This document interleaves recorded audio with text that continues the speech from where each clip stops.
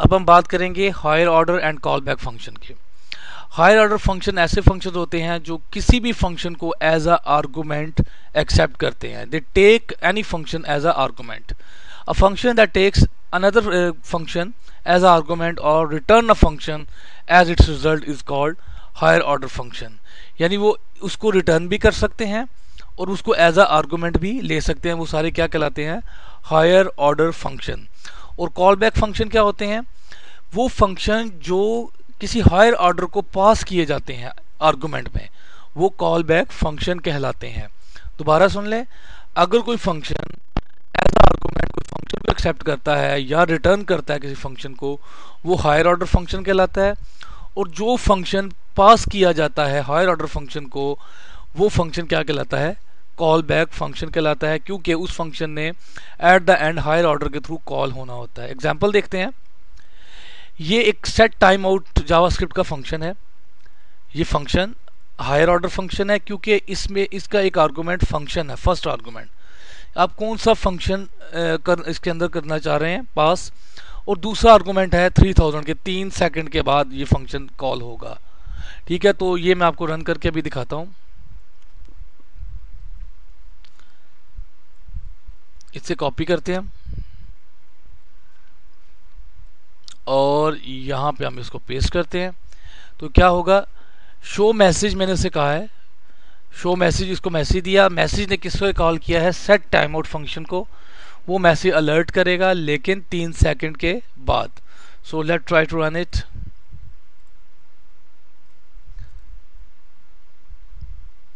तो ये इसका मैसेज आ गया। Function called three second ago ठीक है जी, ये इसका आपका एक टाइमर का जो फ़ंक्शन था, ये एक एग्जांपल है इसकी, कि इसमें हमने क्या किया है? शो मैसेज एक फ़ंक्शन है।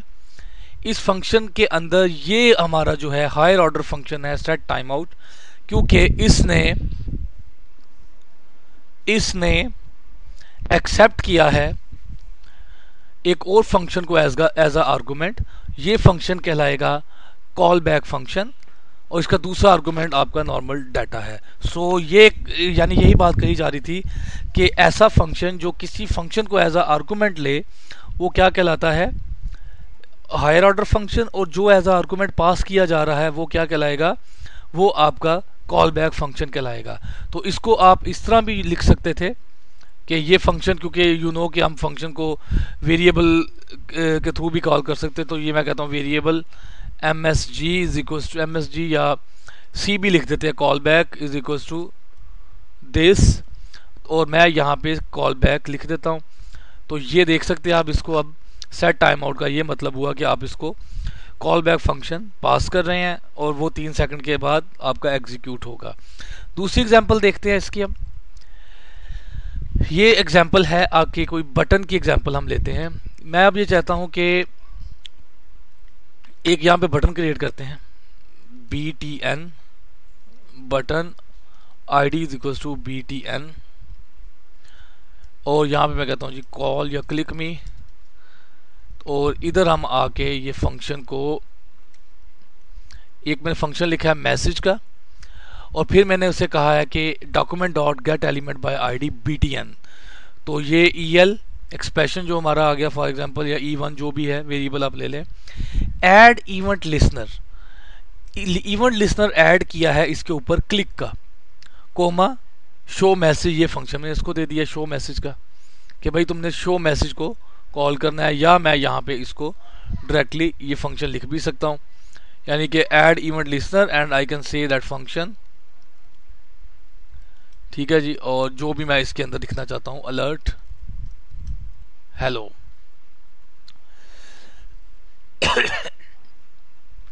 ठीक है, ये शायद इसके, इसको मुझे उस हिसाब से लिखना पड़ेगा। चले मैं फ़िलहाल उसको डायरेक्टली पास कर रहा हूँ।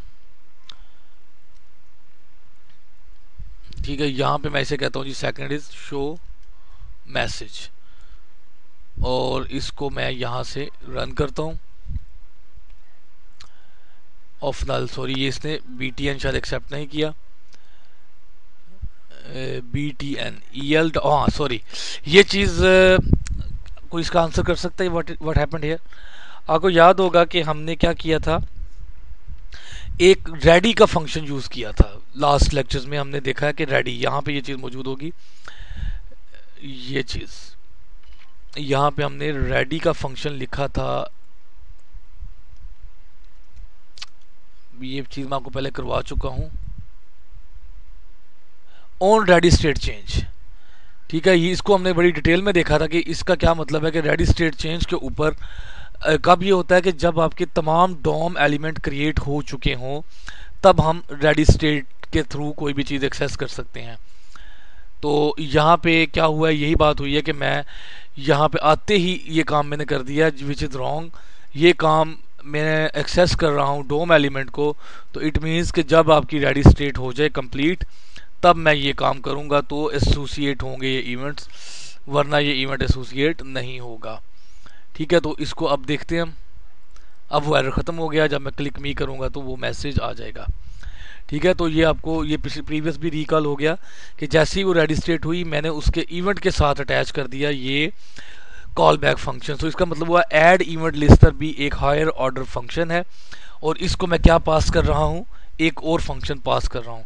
सो so, ये एक और एग्ज़ाम्पल थी आपकी call back and higher order function की। अब एक एग्ज़ाम्पल देखते हैं कि इसको बनाते कैसे हैं। ठीक है, मैं उसके बाद ये आपको एक असाइनमेंट दूँगा, लेकिन ये असाइनमेंट बात की है शॉर्ट वाली। हम अपना पहले एक छोटी सी एग्जांपल देखते हैं कि ये तो हमने बने बनाए फ़ंक्शंस यूज़ किए, लेकिन असल में वो कैसे होगा। एग्जांपल देखते हैं यहाँ पे। ये बल्कि मैंने जो है यहाँ पे यहीं पे नहीं चले एग्जांपल बना लेते हैं। तो एग्जांपल ये है कि एक हमारे पास फ़ंक्शन है। फ़ंक्शन हम कहते हैं जी अरे का, चलें जी फ़ंक्शन है प्रिंट प्रिंट का फ़ंक्शन है, जो हमसे एक अरे लेगा ए डबल ए आर के नाम से। ठीक है? और उसके बाद इस अरे को हम हम कहते हैं जी, एक फ़ंक्शन बाहर से हम पास करेंगे। आउटसाइड से वो फ़ंक्शन मैं पास करूँगा, जो कि उस अरे को प्रिंट कर दे। सो मैं यहाँ पे कहता हूँ जी कॉल बैक कोई भी नाम रख सकते हैं आप यहाँ पे. ज़रूरी नहीं कि आपने ये कॉल बैक ही रखना है. तो इसमें मैं ये कहता हूँ कि आप ये कर सकते हैं अरे कॉल बैक अरे के साथ आप कोई भी ट्रीटमेंट कर सकते हैं. कोई भी ट्रीटमेंट फॉर एग्जांपल मैं कहता हूँ जी, इस अरे की वो लेंथ चेक करे. अगर लेंथ टेन से ज़्यादा है तो कुछ करे अदरवाइज़ यानी कि हम उसमें से मैक्सिमम भी रिटर्न कर सकते हैं, कुछ भी आप इस पर काम करवा सकते हैं, वो तो आपकी अपनी बिज़नेस लॉजिक है। लेकिन अभी मैं ये करना चाह रहा हूँ कि मैं आपको इस रे के साथ सिर्फ़ एक कॉल बैक फ़ंक्शन को कॉल करके दिखाना चाह रहा हूँ। So I say that call back A R array इस अरे को कॉल बैक करे। तो अगर मैं अब इसमें ये काम करूँगा प्रिंट प्रिंट में मैं ये कहता हूँ कि five four three two this और मैं अब ये आता हूँ कॉल बैक के पास, कोई भी फ़ंक्शन है मेरा, ठीक है? और इस फ़ंक्शन को मैं यहाँ से कुछ भी पास नहीं कर रहा, ये चीज़ लिख रहा हूँ मैं, ठीक है? और यहाँ पे मैं कहता हूँ कि इधर हम ये काम करेंगे कि फ़ंक्शन या ये आर्गूमेंट सॉरी यहाँ हमें आर्गूमेंट पास करना पड़ेगा। कोई भी कोई भी वेरिएबल ले लें। मैं इसमें से, ए बी सी वेरिएबल ले रहा हूँ। तो मैं इसे कहता हूँ जी for I is equals to zero semicolon I less than A B C dot length semicolon I plus plus और फिर मैं कहता हूँ जी console dot log A B C सब आए अब यहाँ पे हो हो क्या रहा है? प्रिंट का फ़ंक्शन ये प्रिंट का फ़ंक्शन है, इसको जो अरे पास करेंगे, वो उस अरे को प्रिंट कर रहा है। तो यहाँ पे ये चीज़ चेक करें। ये आपकी अरे प्रिंट हो रही है। ठीक है? तो इसको जरा फर्दर एलेबोरेट करते हैं इस असाइनमेंट के साथ, जो हमारी असाइनमेंट ये कह रही है कि आपने एक फ़ंक्शन लिखना है जो कि अरे को सॉर्ट करे and provide facility to call back for output the array और उसके बाद एक कॉल बैक दे जिसमें आप ये इसको प्रिंट करवा सकते हैं। ठीक है तो ये फ़ंक्शन क्या करेगा? ऐसी ही अरे होगी। ठीक है, और इसके बाद सॉर्टिंग का एल्गोरिदम आपको पता ही है क्या होता है। सॉर्टिंग का एल्गोरिदम अगर नहीं याद तो एक एल्गोरिदम मैं आपको यहाँ बता देता हूँ जी for I sorry I is equal to zero semicolon I less than array dot length semicolon I plus plus उसके बाद मैं ये कहता हूँ जी एक और लूप इनर लूप लगेगा। For j is equals to 0 J less than is equal to length semicolon J plus plus और उसके बाद मैं ये स्वैप कर देता हूँ इफ़ अरे सब आई लेस देन अरे सब j तो फिर क्या करें? ये ग्रेटर देन करेंगे इसको। अगर उससे बड़ा है ताकि वो एंड तक एंड पे मूव कर जाए वेरिएबल टेम्प टेम्परेरी वेरिएबल में ए सब ए नहीं है अरे है। अरे सब आई ले लें। और उसके बाद अरे सब आई उसी लोकेशन पे अरे सब जे कर दें। और फिर अरे सब जे में टेम्प दे दें। तो ये वेरिएबल स्वैप हो गया। तो यहाँ पे ये क्या सॉर्टिंग हो जाएगी? और क्योंकि ये कॉल बाई रेफरेंस होता है तो जब आप इसको देंगे तो ये आपकी यहाँ पे प्रिंटिंग कर देगा। अब आप जो भी इसको रे पास करेंगे फॉर एग्जांपल मैं इसको पास कर रहा हूँ forty five comma four comma thirty two ये वन तो ये क्या करेगा? इसको सॉर्ट कर देगा इस अरे को। सॉरी सॉर्ट ये करेगा। मैं इसको सॉर्ट कहता हूँ, अगर सॉर्ट अरे के नाम से इसका रख लेते हैं।